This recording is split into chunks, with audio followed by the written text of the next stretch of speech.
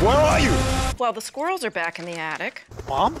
Your dad won't call an exterminator. Can I call you back, Mom?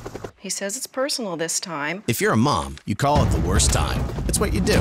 If you want to save 15% or more on car insurance, you switch to Geico. It's what you do. Where are you? It's very loud there. Are you taking a Zumba class?